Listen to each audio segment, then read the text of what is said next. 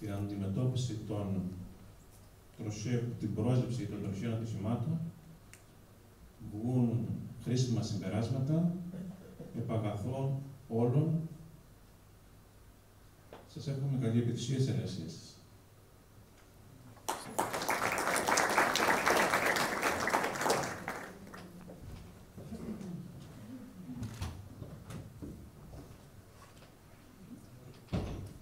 αλλάζοντας λίγο το πρόγραμμα και να μας συγχωρέσει ο πατέρας Νεκτάριος, ε, θα καλέσω στο βήμα το διοικητή του τμήματος Τροχέας Ηρακλείου, τον αστυνόμο Α, κύριο Χρυσό Κωνσταντίνο. Εμμανουήλ, συγγνώμη.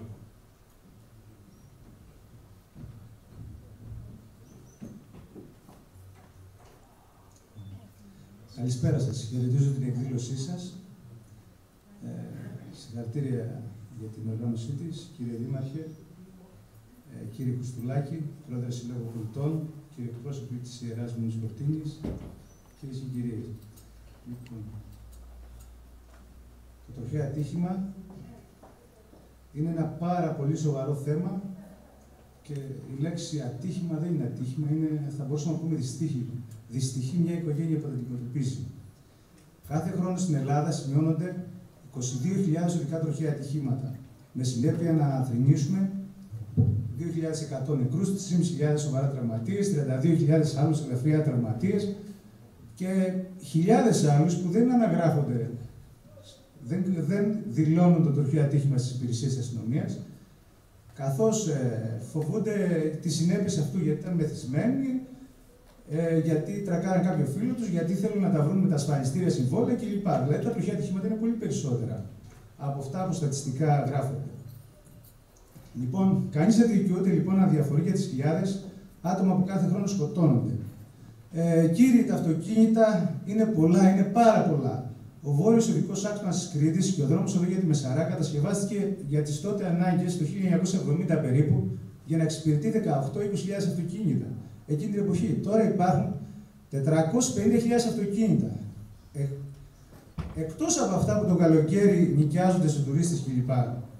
Και οι παρεμβάσεις, όπως γνωρίζετε, στο δικό δίκτυο που έχουν γίνει είναι ελάχιστες. Οπότε καταλαβαίνετε, οποιοδήποτε λάθος, μα οποιοδήποτε λάθος δηλαδή είναι μοιραίο. Έφυγες στο αντίθετο ρεύμα, θα τρακάρεις μάλλον. Δεν υπάρχει ε, περίπτωση. Λοιπόν, είμαστε κριτικοί, είμαι κριτικός δηλαδή. Και κάθε ένας που μένει στην Κρήτη, ας πούμε, νομίζουμε όλοι ότι είμαστε οι καλύτεροι οδηγοί και είμαστε οι χειρότεροι οδηγοί. Και αυτό το λέω εγώ, το λένε τα στατιστικά στοιχεία. Δηλαδή, ο μέσος όρος νεκρών ανά εκατομμύριο κατοίκους σε όλη την Ευρώπη είναι 69 θάνατοι. Στην Ελλάδα είναι 130, στην Κρήτη είναι 210 θάνατοι ανά εκατομμύριο κατοίκους. Έχουν τριπλάσια, τετραπλάσια ποσοστά θανάτων από τους Ευρωπαίους. Εντάξει, φταίει το δικό δίκτυο, αλλά πάνω απ' όλα φταίμε εμείς. Γιατί εμείς νομίζουμε ότι είμαστε καλύτερη οδηγία, όπως έχω πει. Νομίζω ότι έχουμε το καλύτερο λοιπόν, δίκτυο. Κάτι άλλο να ξέρετε, το τροχαίο ατύχημα συμβαίνει στους νεαρούς, στις νεαρές ηλικίες από 18-44 ετών, είναι η πρώτη αιτία θανάτου. Και να ξέρετε ότι τα καινούργια στατιστικά στοιχεία λένε ότι κάθε οικογένεια, προσέξτε το αυτό, θα θρυνήσει ένα άτομο από τροχαία ατύχημα ή από ναρκωτικά. Ας το ρακιστούμε λοιπόν. Λοιπόν, η βασική αιτία λοιπόν πρόκλησης των τροχαίων ατυχημάτων είναι η έλλειψη οδικής κυκλοφοριακής αγωγής. Το ΚΟΚ, όπως καταλαβαίνουμε, δεν έγινε τυχαία. Τα στατιστικά λένε ότι το 80% ευθύνεται ε, ο οδηγός, το 11% παραβάσεις που κάνει ο πεζός, το 3% ελαττωματική λειτουργία του οχήματος, το 6% το δικό δίκτυο, 100% ευθύνεται ο οδηγός για μένα, γιατί οφείλει να προβλέπει το δικό δίκτυο, αυτός φτιάχνει το αυτοκίνητό του κλπ.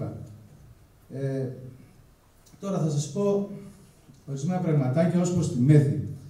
Για μας η πρώτη αιτία τροχιών ατυχημάτων και η πρώτη αιτία θανάτου είναι η μέθη. Ε, το 60% των ατυχημάτων στα τεστικά τους τροχέα Ηρακλείου, ο ένας από τους δύο εμπλεκόμενους οδηγούς έχει βρεθεί να έχει καταναλώσει αλκοόλ μεγαλύτερο από 0,80 γραμμάρια ανά λίτρα αίματος μετρώμενο με τη μέθοδο αιμοληψίας. Γι' αυτό το λόγο προσπαθούμε. Βεβαιώνουμε παραβάσεις. Οι παραβάσεις είναι πολύ αυστηρές. Έχουμε βεβαιώσει από το 2012 τουλάχιστον 1.300 παραβάσεις. Όπως ποτό και οδήγηση δεν συμβιβάζονται. Δεν μπορείς να οδηγήσει με ασφάλεια ζαλισμένος και κεφάτο. δεν ελέγχεις τις πράξεις σου. Νομίζεις ότι παντού χωράς, ότι είσαι μάγκα στο τιμόνι και γι' αυτό το λόγο έχουμε τα πιο σοβαρά τροχαία ατυχήματα. Για την ταχύτητα την έχουν παρεξηγήσει. Η ταχύτητα, παιδιά, είναι πολύ επικίνδυνη. 30 χιλιόμετρα είναι μια ταχύτητα, να σας δώσω καταλάβετε, είναι σαν να πέσει από τον τρίτο όροφο μιας οικοδομής όρθιος για να σταθείς. Είναι πολλά τα 30 χιλιόμετρα. Είναι σαν να τρέχεις κατοστάρι, να είσαι ο καλύτερος δρομέας και εκεί που είναι το νήμα, τρακάρεις. Υπάρχει ένας αόρατος τείχο. Ε, ενώ κανονικά βλέπετε τους αθλητές πάνε 50-60 μέτρα επιβράδυνση και πέφτουν και σε προστατευτικό αφρολέξ για να σταματήσουν. Ε, αιτίες, σοβαρή αιτία είναι το αντικανονικό προσπέρασμα. Ε, για να γλιτώσω κάποια λεπτά οδήγησης τρέχω, υπερβολική ταχύτητα, προσπερνάω αντικανονικά, έχω πιει και δύο ποτηράκια και έχουμε ένα σοβαρό τροχαίο ατύχημα. Και οδηγούμε στο όριο, όλοι στο όριο. Λάθος, μεγάλο. Πρέπει να προβλέπουμε ότι μπορεί να μας πεταχτεί ένα κατσίκι γιατί το οδικό δίκτυο αυτό δεν είναι περιφραγμένο ή μπορεί να υπάρχουν τσαΐλια στον δρόμο ή λάδια ή κάποιο παιδάκι να μας πεταχτεί. Ε, Όπως λέω στην Κρήτη, γνωρίζουμε όλοι να οδηγούμε. Και η Κρήτη είναι γεμάτη από εικονοστάσια. Μπορείς να καταλάβεις πόσα μπει με ποια χιλιόμετρα σε μια στροφή, βλέπεις τα εικονοστάσια. Λες. Και πολλά τροχαία ατυχήματα, πάρα πολλά τροχαία ατυχήματα. Όποιος έρθει στο Μέγαρο θα το καταλάβει. Έχουμε γεμίσει διαλυμένα αυτοκίνητα, λαμαρίνες άμορφες. Και συνεχώς έχουν παρατηρήσεις να τα απομακρύνω γιατί δεν χωράνε πια. Δηλαδή εκεί έχουμε φτάσει. Είμαστε στενοχωρημένοι όλοι. Έχουν μειωθεί βέβαια το τελευταίο χρονικό διάστημα, αλλά είναι πάρα πολλά. Λοιπόν, ας πούμε και κάτι άλλο. Πρέπει να φοράμε ζώνη ασφαλείας και προστατευτικό κράτος. Κράνος, ώστε όταν έχουμε ένα τροχαίο ατύχημα να μειώσουμε τις συνέπειές του. Το κράνος, να σου πω ένα απλό παράδειγμα. Ανοίγουμε το τουλάπι της κουζίνας και χτυπάει το κεφάλι μας στο τουλάπι. Είναι με 2 χιλιόμετρα ταχύτητα. Ματώνει το κεφάλι μας, φωνάζουμε, βρίζουμε, πονάμε πάρα πολύ, μαντιλοδενόμαστε. Φανταστείτε να παίζει με ένα μηχανάκι με 10 χιλιόμετρα σε ένα σταθερό αντικείμενο. Οπωσδήποτε πρέπει να φοράμε κράνος. Το 80% των μοτοσυκλωτιστών που σκοτώνονται είναι γιατί δεν φοράνε κράνος. Είναι κρανιοκεφαλικές κακώσεις. Δηλαδή στους 10 νεκρούς οι 8 είναι γιατί δεν φοράνε κράνος στα μηχανάκια. Ω προς τη ζώνη ασφαλείας. Όλοι πρέπει να φοράμε ζώνη ασφαλείας. Όχι μόνο η μπροστινή, και η πίσω πρέπει να φοράνε ζώνη ασφαλείας. Γιατί αυτός που δεν φοράει ζώνη εξφεδονίζει στο αυτοκίνητο, κινείται και σκοτώνει τους άλλους. Στην κυριολεξία. Είχαμε το οποίο ατύχημα που αδερφή στο πίσω κάθισμα σκότωσε την αδερφή της στο μπροστινό κάθισμα. Δεν μπορώ να πω περισσότερα.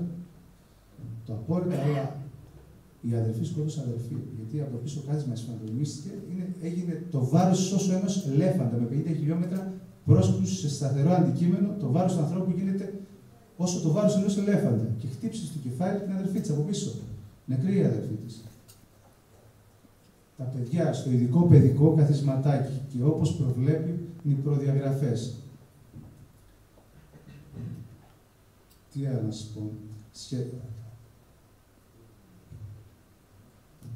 Και σας εύχομαι ποτέ να μην ζήσετε ένα τροχαίο ατύχημα. Εμείς πάμε συχνά, βλέπουμε ανθρώπους κατεκρεουργημένου. Είναι φοβερό πράγμα. Άμορφε λαμαρίνες, σπινωμένα κομμάτια ανθρώπων μέσα. Και πώς θα ανακοινώνει στου δικούς τους. Τα χίλια σφίγγονται, ο πόνος μεγάλος. Και για μας ο πόνος μεγάλος. Έχω χάσει τον καλύτερο μου φίλο. Πάω στο σπίτι του, η μητέρα του μου έχει έτοιμο το τραπέζι. Κάτσε να μην λέει. Και όλου, όλους μας έχει συμβεί αυτό. Τι να σας πω, να σας πω ότι η ζωή του ανθρώπου είναι ένας κύκλος. Γεννιόμαστε, μεγαλώνουμε, παντρευόμαστε, κάνουμε παιδιά, γερνάμε, πεθαίνουμε. Έτσι πρέπει να είναι. Δεν πρέπει να είσαι 18 χρόνια και μια στιγμή σταματάει η ζωή σου όταν το έχει ατύχημα. Η ζωή είναι δώρο Θεού. Δεν πρέπει να τη διαπραγματευόμαστε, φοράμε το κράνος και τη ζώνη μας και η οικογένειά μας μας περιμένει. Αυτά έχω να πω.